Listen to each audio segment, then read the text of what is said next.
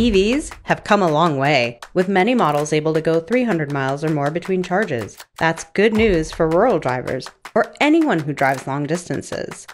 And thanks to recent federal legislation, thousands of public chargers will be coming online, adding to the 66,000 chargers that are available right now.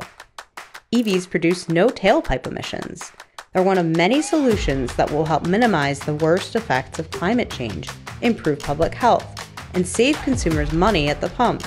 Thinking of making the switch? Check out our latest analysis to see the benefits of driving electric in your state.